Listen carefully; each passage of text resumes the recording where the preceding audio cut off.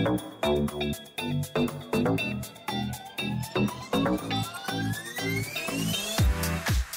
today we have a full body kettlebell workout for you all. All you need is just one kettlebell for this. So pick that weight wisely as you are going to be doing 20 reps per exercise that I take you through for four sets with a 30 to 45 second recovery between each set that you do. With it being a full body workout, you want to pick a weight that's applicable to every exercise that we're going to take you through. So let's get you started with that first exercise. So first up, we have a squat thruster with that kettlebell. So all you're to do is pick up the kettlebell. You're gonna pick it up, overhand grip, but you're gonna bring it right up to the chest, keeping the elbows tucked in nice and tight. All we're doing from here is ensuring our feet are turned out slightly and our knees are tracking over our toes in the squat. So we descend into the squat. From here, we power up, drive through, lock out at the top, making sure the alignment's there, catch again, and don't descend until the kettlebell comes to the chest. Making sure knees track over the toes throughout, heels stay grounded, we brace the abs, Lift the chest on every rep, making it one continuous smooth movement. You will do 20 reps with good form and control, 30 to 45 seconds rest between the sets, four sets in total before moving on. Exercise number two within the workout is an American swing with that kettlebell. So we're looking for the range on this to come right up to the crown of the head, but with good control, all right? So all you're gonna do, you're gonna pick up that kettlebell as you would in a regular swing. We're gonna take the hips back, pull to the top, and then come back down. Maintain tension in the body throughout, ensuring that we don't go above the crown of the head, and that we keep control on the kettlebell at the top and at the bottom of the swing. So side on, all you're gonna do, is the heels and hips, ping it forward, and pull to the top, maintaining tension and control throughout that swing, ensuring the hip hinge plays a part in building momentum in the swing. 20 reps in total, 30, 45 seconds rest between the sets that you do with four sets in total. Okay, so next up we have a single leg RDL with a supported stance in the opposing leg. I'm working my left leg, so my right leg is going to support the movement first. So all we're going to do is we're going to pick up that kettlebell and we are taking our right foot to the back heel of our left leg. From here, I've got a soft knee and I'm hinging at the hip. I'm going to take the kettlebell down the front of the leg into the RDL movement and then return to standing.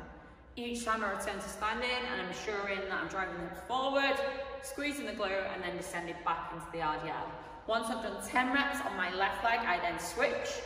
From here, I've got a bend with the knee on the right leg, hinge at the hip, left leg is supported, same movement, I'm sitting into the heel and the hip every time I descend the rep into the RDL. Making sure that I'm looking to move to full range under very good control on each rep that I do. Once I've done 10 on my left, I do 10 on my right. I then take a 30 to 45 second recovery phase, four sets in total on this one.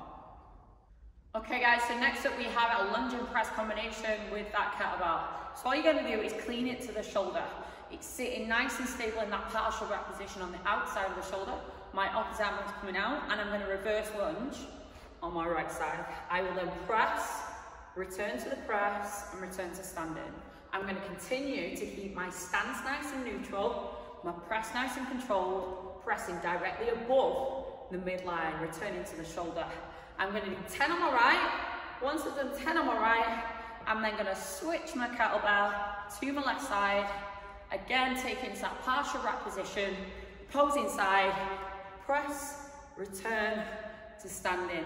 Stabilize the core, nice strong shoulder, take your time, breathing throughout, and then once you've done 10 left and right, take a 30 to 45 second recovery, four sets in total on this one. Okay team, so next up we have a windmill with that kettlebell. So this one requires a certain stabilization of the core and the movement through the sagittal plane. So you're just moving from side to side. You're imagining you're between two wet walls of paint on this one. So all you're gonna do is you're gonna grab that kettlebell. What you wanna make sure of is that when you clean it up, it's directly above the crown of your head. From here, my left hand is feeding down the inside of my leg, pushing in towards the arch of my foot, I'm keeping my eye on the kettlebell and I'm returning to standing. So at this point, my eyes are on the kettlebell. I'm gonna descend again, keeping my kettlebell nice and stable, eyes on it all the time. I'm making sure that my hips are nice and neutral. Bracing the abs throughout, this one's really gonna test your obliques, but it's really gonna strengthen that core. Once I have done 10, on my right, I will then switch the kettlebell to the other side, clean it directly above the head, eyes on the kettlebell, I feed it through, I sit into my hips, and then I return to standing. Making sure throughout I'm moving on that sagittal plane, keeping eyes on that kettlebell, not letting it push too far to one side, but keeping it directly above the head. Once I've done 10, I'll pop the kettlebell on the floor, take 30 to 45 seconds recovery, four sets through on this one to complete that exercise. Okay guys, so the very last exercise within this workout is a kettlebell Russian twist. So you're to be on the ground for this one using that kettlebell. So all we're to do is you're going to take a seat. Option one is heels down, option two is heels up, okay? You're aiming to create a V between the knee, the hip, and then the torso.